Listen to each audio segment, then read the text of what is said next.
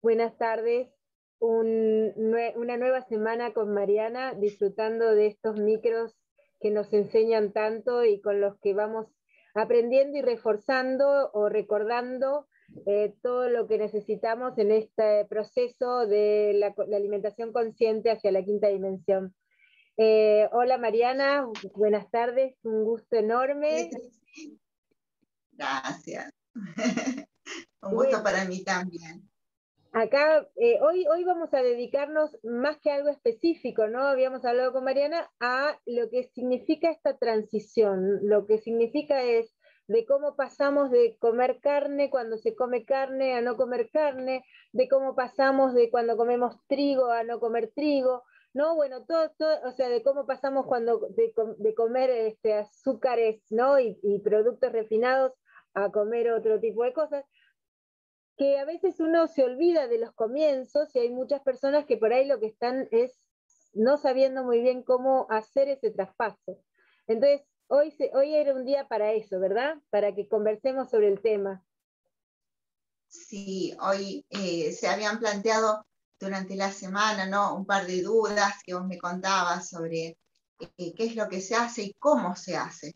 Y es verdad, uno se va olvidando, ¿no? Cuando ya, ya pasó esa transición, esa, esa parte más difícil, sea cual sea la decisión, o sea, el motivo por qué uno toma esta decisión, eh, uno se va olvidando y ya como que se empieza encarrilado y empieza a buscar otras cosas, no se preocupa ya por eso que ya no como o porque con qué cosa lo puedo reemplazar, ¿no? Eh, yo lo cuento desde mi experiencia, cómo puede ser una transición. Como toda transición, Em, tiene que ser lenta, tiene que ser paulatina para que pueda ser segura y para que sea dura, eh, duradera. Acá estamos hablando de algo que va a ser nuestro estilo de vida, no es solo una dieta. Entonces lo tenemos que hacer con una conciencia diferente, tomando, como decía, más conciencia de lo que estamos haciendo y de que realmente este cambio va a ser para siempre. Entonces, mm, generalmente eh, uno toma esta decisión y dice, bueno, eh, lo dejo, pero no está bien eso. Es lo dejo, pero lo dejo en modo paulatino. ¿Qué voy a empezar a hacer? En ejemplo de la carne, que es lo más importante, que es la cosa más en este modo para una alimentación 5 de lo más dañino, porque como ya sabemos, eh, hay varias, este, varios motivos por los cuales nosotros vamos a estar tratando de eliminar la carne de nuestra vida, de nuestra alimentación, ya sea por una cuestión moral, por un respeto a, otro ser vivo, ¿no? Porque cuando uno toma conciencia y está más unido a todo lo que es em, eh, el universo, ¿no? Y las diferentes vibraciones y el respeto por otras, otros seres vivos, bueno, no vamos a tener que consumir animales, ¿no? Es la cosa principal. Eh, creo que todos lo tomamos desde ese lado. Eh, del respeto por otro ser vivo. Después está el lado vibracional. Si nosotros consumimos carnes o animales muertos, porque son esos animales muertos, vamos a estar densificando nuestra vibración, nuestro cuerpo físico, nuestro envase, y eso nos va a evitar o va eh, a contribuir a, como les decía, densificarnos y no nos va eh, a salir o no, como no, no me sale la palabra, vamos a tener una conexión fluida como podríamos tenerlo con una alimentación sana y con un cuerpo sano y alcalino, ¿sí? Esa es una de las, eh, de las otras razones que nosotros este, utilizamos o tenemos cuando decidimos dejar de consumir carnes. Eh, cuando yo dejé de hacerlo, fue una decisión que ya venía desde hace bastante, ¿no? Era una cosa que me estaba dando vueltas en la cabeza, pero yo sabía que era una persona muy carnívora, y tenía una conciencia diferente, no estaba tan abierto, entonces me parecía que hacía ese razonamiento, si eh, los animalitos están ahí son para alimentarnos, pero en realidad no es así. Eh, y un día, como quien dice, me hizo clic. Y ese día dije, bueno, basta. Pero yo pienso que me estaba ya preparando, venía con un proceso. Entonces cuando lo decidí y lo dejé fue para siempre. A veces tengo esa necesidad, pero después de tanto tiempo empieza a hacerte mal, ¿no? Ya no lo digerís, no lo procesás, no viene metabolizado, no nos hace bien, porque nuestro cuerpo con una alimentación diferente ya empieza a rechazar todo eso que no necesita. yo lo que aconsejo es de hacerlo de modo paulatino. Si nosotros comemos, este, estamos acostumbrados a tres, cuatro veces a la semana a consumir carnes rojas o blancas, vamos a empezar a eh, mm, hacerlo, no lo sé, una vez menos o, dos veces menos, si lo hacemos cuatro, empecemos con tres, después pasa. Enseguida las cosas que son más procesadas los embutidos, ¿no? las salchichas, los chorizos, em, eh, ¿cómo se llama eso? Después pasemos a la carne. Y así, en modo paulatino, para también acostumbrar a nuestro cuerpo a incorporar esas proteínas necesarias que van a reemplazar aquellas que tienen a través del consumo o que obtenemos a través del consumo de la carne. ¿Qué pasa cuando nuestro cuerpo se empieza a depurar, empieza a sacar todas esas toxinas que ya no necesitemos más? Va a tener esa falta, ¿sí? Y no solo nos va a mm, afectar físicamente y a veces psicológicamente, ¿sí? Nos vamos a sentir más débiles, vamos a, no vamos a tener la fuerza suficiente para afrontar un día. Y eso no es verdad. Entonces también tenemos que estar preparados un poquito con la cabeza para hacer ese salto. Por eso yo les digo de hacerlo siempre en modo lento, tratando de eliminar un poco eh, de una cosa, un poco de otra, hasta llegar al momento de que ya no necesitemos el consumo de ese producto. Tengamos en cuenta, como dijimos muchísimas veces, que en la naturaleza, en la alimentación vegetal, vamos a encontrar todas las vitaminas, minerales, proteínas que necesitamos para vivir en salud. ¿sí? No necesitamos la carne. No vamos a estar carentes de algo si dejamos de comer carne. Por eso también tenemos, hacemos estos micros para informarles con qué podemos estar reemplazando esas proteínas. Nosotros a través, como decíamos la semana pasada, ¿no es cierto? Eh, las proteínas de las legumbres eh, pueden reemplazar aquellas de la carne. Incluso en ciertos productos vamos a encontrar niveles proteicos mucho más altos de lo que nos da el consumo de carne. Así que la carne no nos va a estar haciendo falta. Lo importante es que cuando decidamos, en este caso, dejarla, lo hagamos en modo lento, ¿sí? Para que nuestro cuerpo se vaya acostumbrando. Generalmente cuando hacemos una desintoxicación de algo, nos vamos a sentir un poco más débiles, vamos a tener un poco de dolor de cabeza, nuestro cuerpo está sufriendo un cambio, ¿no? estamos desacostumbrándolo a consumir un producto tóxico, en este caso, que nos va a estar haciendo mal por algo más sano. Entonces se va a sentir un poco movilizado. Y ahí es donde nosotros no tenemos que caer. Cuando tenemos esa, esa necesidad, que en realidad no es física, es más mental, de consumir carne. Es decir, no, me siento mal porque no como carne. No, en realidad te vas a sentir mal si seguís consumiendo. Sabemos todos los problemas que puede ocasionar el consumo de carnes rojas o carnes blancas, ¿sí? Hablamos del colesterol, de problemas del corazón, de mm, la grasa en la sangre, ¿sí? problemas eh, cardiovasculares. Hay muchísimas razones por las cuales nosotros a nivel físico nos va a beneficiar una alimentación vegetal, ¿sí? Pero como les digo, en modo paulatino. Lo mismo sucede con las harinas o con las sales o con los azúcares, como vos decías, al principio, em, aconsejar siempre de hacer un paso a la vez, en modo de que este proceso sea duradero, que no necesitemos este, em, empezar de nuevo después de un mes, porque flaqueamos a, a los 15 días, a los 20 días, porque nos quitamos todo de golpe. No podemos hacer eso con ningún tipo de producto. Empecemos, en vez de eliminar, a incorporar. Incorporemos más legumbres, incorporemos este, más verduras, en modo de empezar a hacer lugar a cosas sanas para así después, cuando tengamos que dejar aquello que nos está haciendo mal, tengamos con qué reemplazarlo y ya sepamos cómo, qué efecto hace en nuestro organismo, ¿no? Porque si tenemos que eliminar de golpe todo, nos va a durar muy poco y cambio tan grande y tan drástico de un día para el otro. Por eso a veces pasa esto de, que la gente te dice que le hace mal no comer carne o que el médico le dice, sí, necesitas comer carne. No, porque sabemos que los nutricionistas mismos te dicen que ya tienen una visión mucho más amplia de lo que es una alimentación consciente te dicen que la alimentación vegetal es lo mejor. Entonces, eh, no te pueden decir si eh, necesitas carne, no, porque ya sabemos y está comprobado que a través de la alimentación vegetal vamos a obtener todo lo que nosotros necesitamos para estar bien. Llegamos a lo que sería una alimentación alcalina, una alimentación consciente, una alimentación vegetariana o vegana, lo que sea, siempre va a ser mucho más sana que una alimentación, entre comillas, tradicional, a la que estamos acostumbrados supuestamente todos, ¿no? Eh, carnes, este, azúcares refinados, harinas refinadas, la sal, y son todas cosas que nos están haciendo muy mal. Por eso, empecemos a integrar, integremos más verduras en nuestra alimentación, nuestra dieta, integremos las frutas, los frutos secos, para después, el día que nosotros decidamos de quitarnos algo, podamos reemplazarlo con algo que ya también estamos consumiendo. ¿sí? Esa es la idea, ese es mi consejo, ¿no es cierto? No sacarnos, al contrario, hacer intercambio.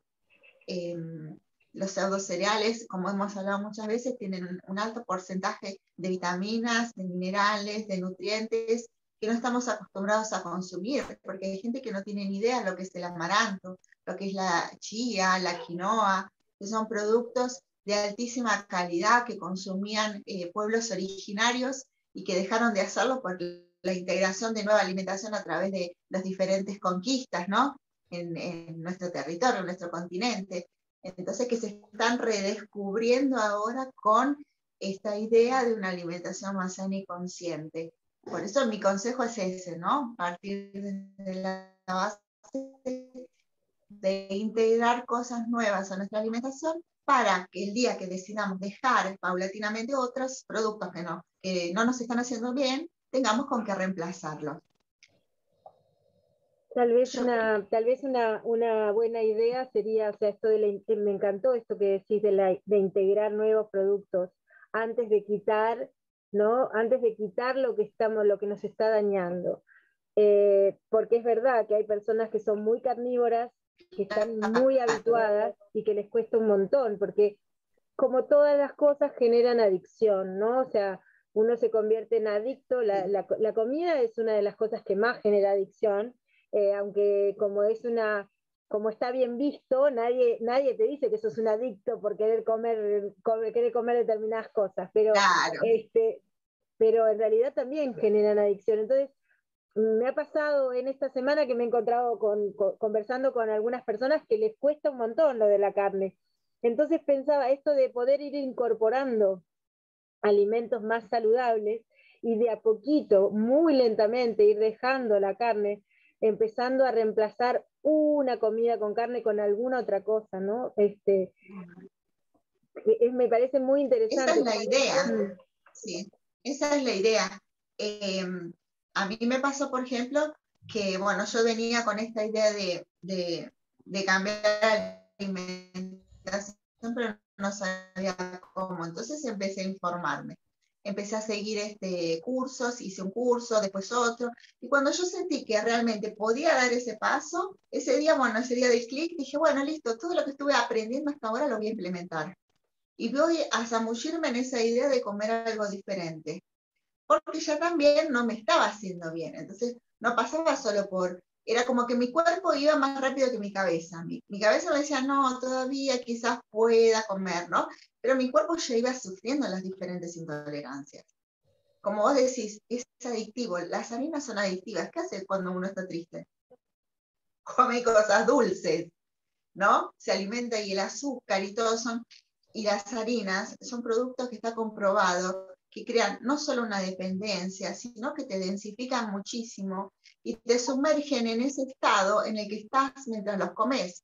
más triste estás, más comes eh, productos dulces, procesados, elaborados, refinados, que te van a sumergir en esa situación. Entonces ahí es donde uno tiene que pensar, porque para eliminar después todas esas toxinas de un momento de, de así de, de, tristeza este, cuesta muchísimo. Pasan días y días hasta que uno logra eliminar todo, todo eso del, organismo que se está intoxicando. Entonces, por eso eh, empecé a, a, trabajar con los pseudo cereales, ¿no? Dije, bueno, a mí me gustan mucho las hamburguesas. me gusta comer este, los sándwiches abundantes, ¿no? Entonces dije, bueno, antes, en vez de ponerle fiambres, ¿no? Eh, ¿Por qué no, le, no, no hago una hamburguesa de, de verdura? Y empecé a investigar y dije, bueno, podría hacer con esto. Y utilizaba las cosas que tenía en casa, ¿no? Empezaba a abastecerme mucho más de lo que eran verduras.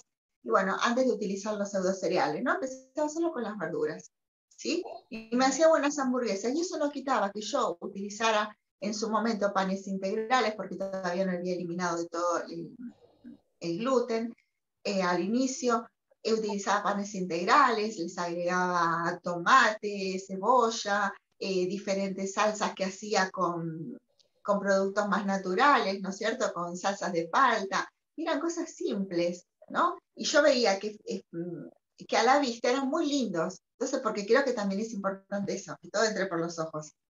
Y después ahí eh, me incentiva, me autoincentivaba a comer cosas diferentes para empezar a dejar las otras. Eh, eso, eso está bueno, ¿no? Y después seguí investigando y decía, bueno, hay estos pseudo cereales. ¿Qué son los pseudo cereales? Bueno, son cereales eh, de una categoría diferente que no contienen gluten, con los cuales yo puedo hacer diferentes tipos de elaboraciones. Pueden ser este, tratados y elaborados como el arroz, pero a nivel nutricional son superiores.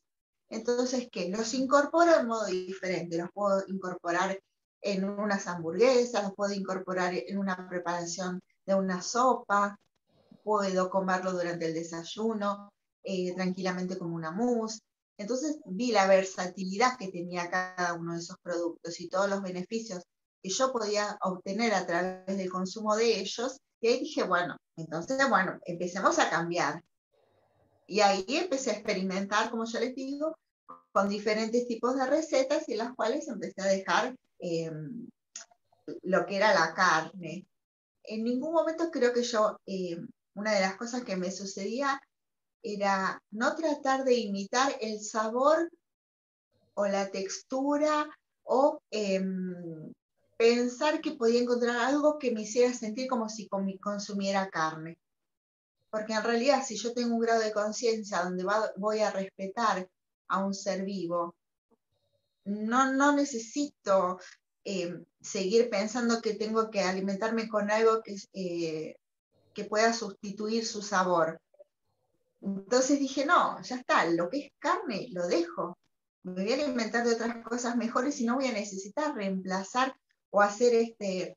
Eh, hay muchas, a veces yo veo muchos cursos ¿no?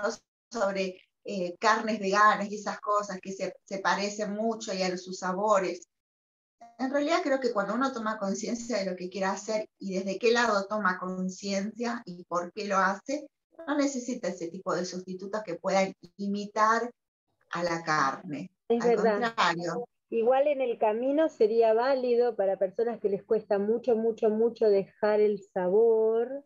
Sería válido que hicieran, ¿no? Que hicieran digo, o sea, no, no, no es lo que me pasa a mí, ni es lo que me pasó a mí en la vida, pero ni es lo que te pasó a ti tampoco, pero digo, hay personas que, no, no.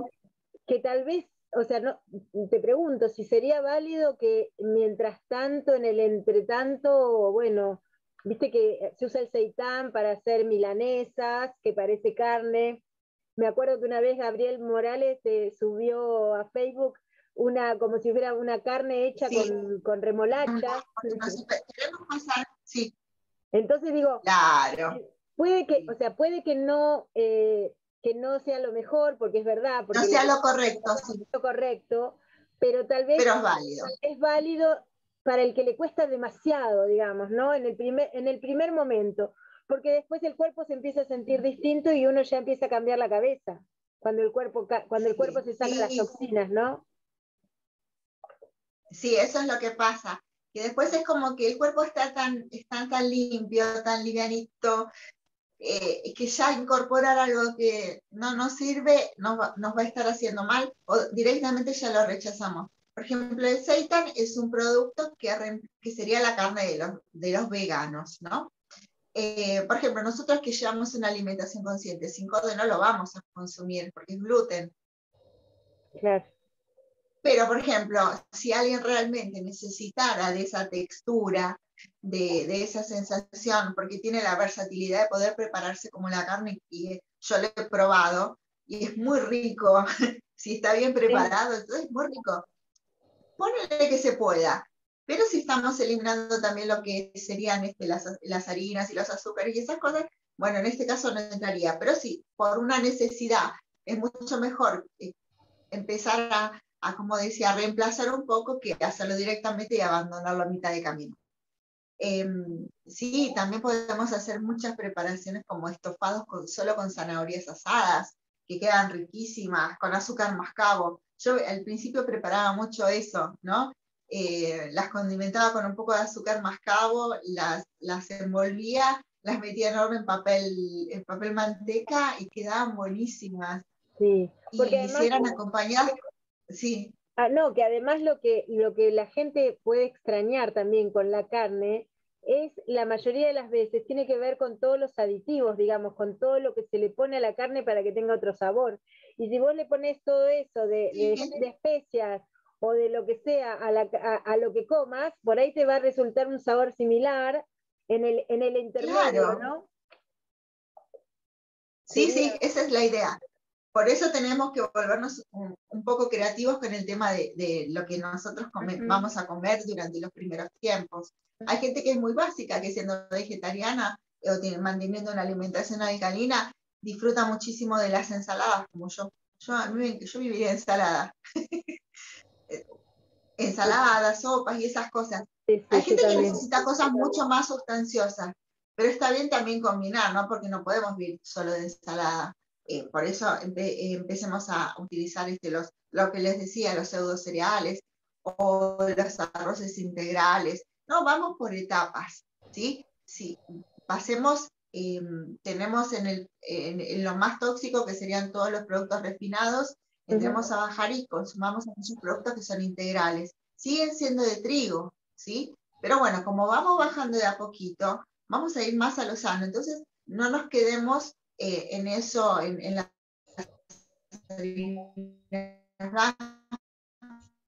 los azúcares blancos, en las sales. Bajamos a otro nivel en donde ya el gluten no exista, donde no se consuma. Sí, Pero se sí, siempre estaba cortando, paulatino. Se estaba cortando lo último que dijiste, que no se escuchó, eh, respecto de cuando hablaste de los azúcares y de las que vayamos bajando, hubo un pedacito ahí que se cortó, ¿podrías repetirlo?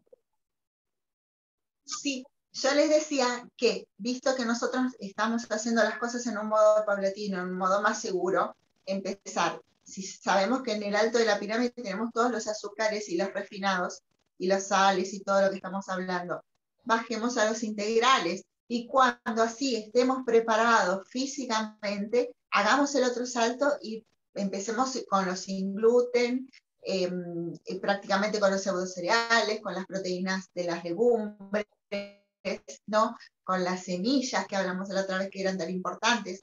O sea, hagamos todo en modo paulatino, en modo que no nos haga mal, porque muchas veces lo hemos hablado, lo hemos hablado hasta con Andrea, ¿no? Que en muchas de sus charlas ella dice que no podemos hacer las cosas de un lunes para un martes, ¿no? Que tenemos que hacerlas despacio. Entonces, eh, no está mal que tengamos nuestros permitidos cada tanto, porque realmente si lo hacemos es porque realmente lo necesitamos en su momento, pero después sabemos que no nos va a estar haciendo bien. A veces necesitamos, como los nenes, experimentar un minuto para saber qué es lo que está pasando y volver a lo,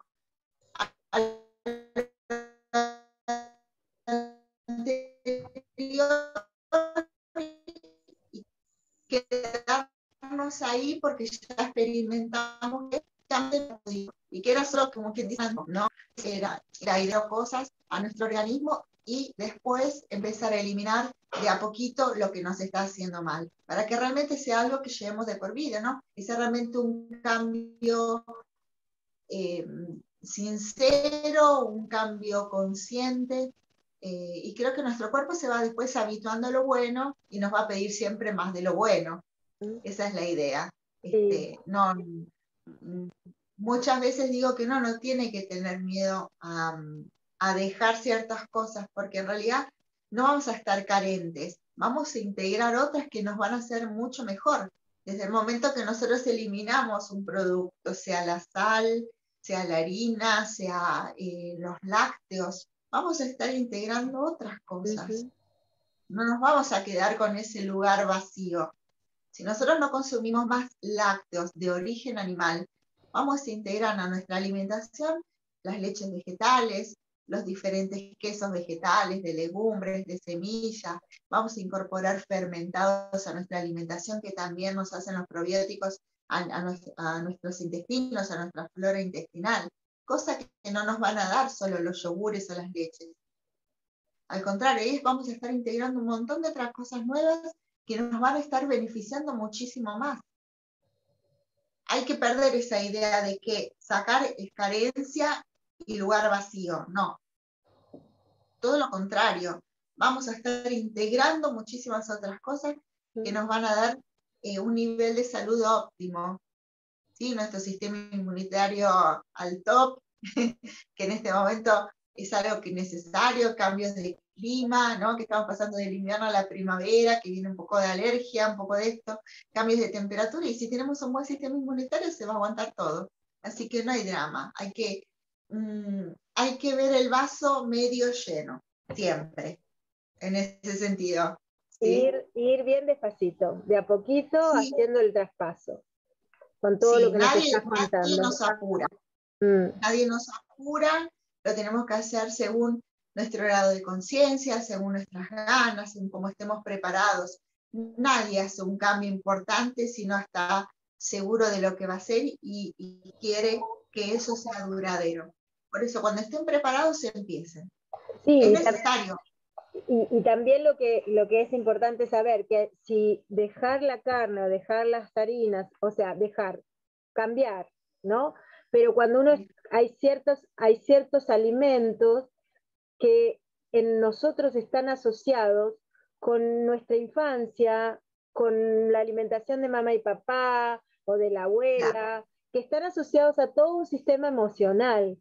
Entonces, a veces cuando uno retira ciertos alimentos, lo que le empieza a pasar es que empieza a haber un conflicto en la emoción, pero que tiene que ver con lo asociado que ese alimento está a, lo que está, no, no, con el alimento en sí, ¿verdad? Entonces eso también hay que estar atento y poder ir revisando todas esas cosas. Sí, claro, si a uno le dicen, bueno, estamos sacando la pasta de los domingos, y dice, ¿y ahora cómo me reúno? ¿O cómo convivo con, mi familia? Y bueno, pasa que muchas veces eh, la gente se siente como dejada de lado con un cambio de alimentación. Me pasa una alimentación vegetal. Dice, bueno, se reúne toda mi familia, toda mi familia es carnívora. ¿Cómo hago yo? ¿Como carne? No, en realidad no es necesario.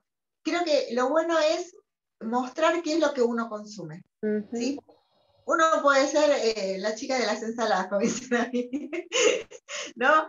Eh, pasamos a ser las que llevamos las diferentes ensaladas con legumbres, con, con este, diferentes cereales, con arroces integrales, con, con verduras que uno no consume eh, normalmente, ¿no? Con ideas diferentes.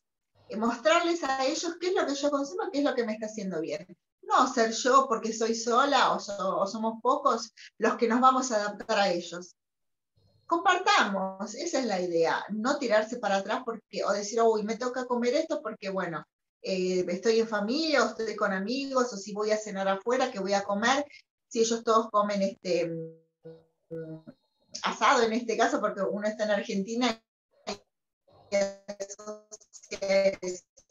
pero qué sé yo, si uno está en Italia, pizza sin gluten, donde puede comer este, productos diferentes, este, no decaer tampoco en eso, porque la presión social también es algo que nos afecta muchísimo a veces. Pero bueno. Sí, también yo, este yo recuerdo que a mí una de las cosas que más me costó fue dejar la leche, la leche de vaca, porque eh, eh, yo hace muchos años en realidad que, que, que, dejé, la, o sea, que soy vegetariana, pero digamos, la leche yo la he dejado en distintos momentos y recién ahora, hace dos años que la dejé. Pero eh, me ha costado en distintos momentos, porque cada vez que yo tenía alguna, algún bajón, la leche estaba tan asociada con mi casa, mi casa materna, paterna de mi infancia, de la protección y de sentirme cuidada, que tomar leche, tomar leche con cacao o tomar un licuado de banana con leche, me traía esa sensación de saciedad emocional. Entonces me costaba un claro. ¿no? Me costaba un montón. Sí, sí, sí, sí, te entiendo. Son cosas que, bueno, que hay que estar atentos, ¿no? Y, ver cómo uno las... Porque al principio yo lo empecé, bueno, empecé con la leche vegetales, sea, las leches vegetales las mezclaba, ahora me hago el cacao con, agua y, me hago la licuado, licuado con agua, digamos, no, no necesito nada, pero, pero hay que ir de, a poco, ¿verdad? Cambiando. Mm. Sí, por ejemplo, a mí me pasa mucho con el tema de los quesos. Mm pero yo sabía que yo hace, bueno, nunca me gustó mucho la leche. Eh, entonces no fue una, cosa que yo sufrí. Y em, eh, aprendí a disfrutar de las leches vegetales. Yo las puedo tomar solas, frías, las puedo tomar con el café. Con eh, café con leche si tengo ganas, porque a veces un cafecito una o dos veces a la semana me lo tomo. Realmente a veces tomo los, los smoothies a la mañana. Depende de las ganas que tenga, me hago diferentes cosas puedo comer solo la avena, em, pero sí, a veces, este, por ejemplo, no, no me costó, pero lo que me costó mucho fueron los quesos. Bueno, eso es otra de las cosas que cuesta, ¿no? Eso sí. Eh, fue, sí, sí, los quesos. Después, bueno, los helados no. El helado no, porque se encuentran muchos helados de fruta que no contienen lácteos. Y aparte, por ejemplo, ahí es donde yo vi el tema de los lácteos eh, que a mí me hacían mal. Ya era intolerante. Entonces, ya ahí era otra cosa, no era una decisión personal a nivel este, de conciencia, sino era una cosa que ya me traía trastornos. Eh, al igual que la harina. Yo como harina, em, y bueno, y después yo sé que son dolores de estómago y que no estoy bien, y, entonces dije, bueno, listo. Sí, lo, eh, que, llama, lo que llama el gluten, ¿no?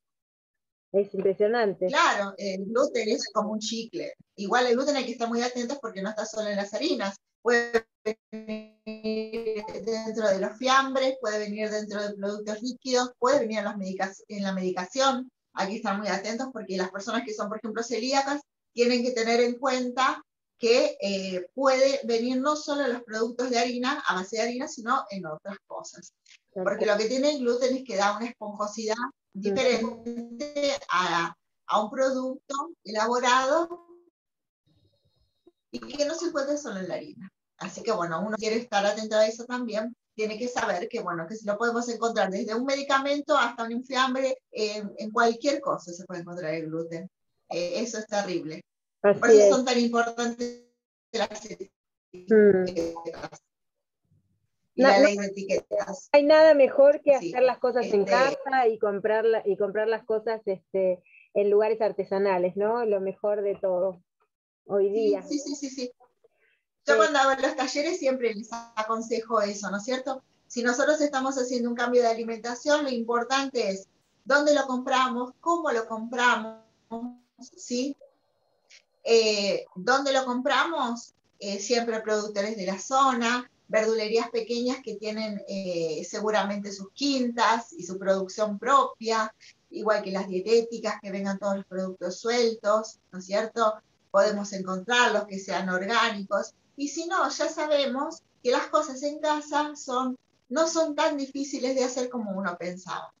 En el último taller que nosotros tuvimos, que fue la de quesos veganos, me decían, nosotros pensamos que era mucho más, mucho más difícil. Y no, y en realidad no. Eh, la idea era esa también, ¿no? Que empezar de quesos eh, muy básicos, en modo de darse cuenta que se puede acceder a este tipo de alimentos sin la necesidad de pagar exorbitancias en, en una dietética. ¿sí? Eh, Y en realidad no llevan, ni cinco minutos. Aprovecho para avisarle a todos los que nos vayan a escuchar que no se pierdan los talleres que hace Mariana. Mariana ha hecho un montón de talleres que están a la venta en, video, ¿verdad? Eh, diferido. Y además ahora el 9 haces, el taller de quesos veganos nuevamente. La verdad que eh, Mariana es muy didáctica, hace muchas recetas, explica todo muy bien, así que vale la pena poder compartir con ella y con Virginia, su hermana, estos talleres que son fantásticos. Así que anoten los que no se anotaron porque valen la pena y, y, es una de las personas con mucha conciencia de lo que es esta preparación para la quinta dimensión respecto a la alimentación. Así que es, vale, es muy valioso. Para mí es una de las cosas hoy día más valiosas, ¿no? Cuando yo pienso en que, en que hay mucha gente que sabe mucho de alimentación y son muy valiosos, pero que para mí es muy importante que tengan la conciencia de lo que significa este traspaso ascensional, porque hay otra mirada y hay otras características que se suman y que me parecen muy valiosas y que vos las tenés junto con Virginia, las dos lo tienen, ¿no? Claro, eh, se aprende mucho a través de otros profesionales lo que es alimentación, ¿no? Pero es como vos decís, nosotros que estamos ya eh, vibrando en una idea de 5D, ya sabemos que nuestro cuerpo está cambiando, que genéticamente no somos los mismos, que nuestro ADN está en continua se está modificando continuamente, ¿no es cierto? Nosotros estamos pasando de, de, ser carbono a ser silicio y tenemos que adaptar nuestro cuerpo físico, nuestro envase este cambio, porque si no lo vamos, vamos a sufrir mucho todo esto. Una alimentación más alcalina, más saludable, de comer productos frescos, de integrar, ¿no? Verduras, frutas, eh, natural, de dejar todo lo que sea procesado, que sea refinado, para poder tener una alimentación mucho más sana, porque no estamos todavía preparados.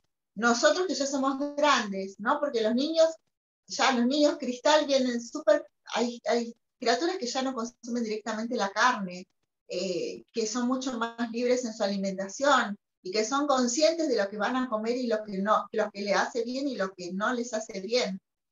Tiene una, y nosotros que somos más grandes, bueno, tenemos que desestructurarnos un poco para poder adaptarnos a este cambio eh, vibracional que estamos sufriendo, ¿no? Sufriendo entre comillas, o sea, este cambio vibracional, que se sufre también, pero bueno. Eh, es un sufrimiento beneficioso, por decirlo así. Sí, sabemos, sabemos que cuando pase vamos a estar mejor. Pero bueno, para ayudar a todo este cambio que estamos este, Em, sufriendo, tenemos que alimentarnos mejor para estar vibracionalmente mejor, más altos y eh, menos densos para poder, este, poder conectar, ¿sí? Porque la idea de esta 5D es, se habla de la conexión, del amor incondicional, ¿no? De ser otro tipo de personas, de otro ser humano. Entonces, bueno, para poder vivir todo eso, uno de los pasos, de los pequeños pasos que tenemos que hacer es alimentarnos mucho mejor. Así Esa es. la idea. Bueno, Mariana, muchísimas gracias. Espero que se haya entendido porque hubo algunos momentos en que quedaba como la voz media. Sí, se perdía. Pero bueno, espero que sí que se haya entendido, por lo menos yo sentí que entendía yo, así que por eso no te lo hice repetir. Eh, nos vemos la próxima semana con algún buen tema nuevo para seguir avanzando. Y por supuesto... Si quieren proponer algún tema, también, si alguien quiere proponer algún tema, ya pronto vamos a hacer esto en vivo, así que lo van a poder disfrutar mejor. Así que, eh, y que está Mariana siempre para responder preguntas, la que quieran hacer en los comentarios. Bueno, nos vemos. No, si no, las redes sociales me pueden encontrar y pueden consultarnos a través de Espacio Matista. ¿sí? En la cajita están todos los datos de Mariana para ver dónde la encuentran en todas las redes, así que para que puedan preguntarle todo lo que quieran. Ahí siempre van a encontrar en, la cajita de YouTube. Creo que se llama cajita, no sé, pero bueno. bueno, gracias Mariana, gracias a todos los que nos, nos van a escuchar y nos vemos la próxima. Un abrazo enorme. Listo. Chao, Trixie. Hasta luego. Chao a todos. Chao.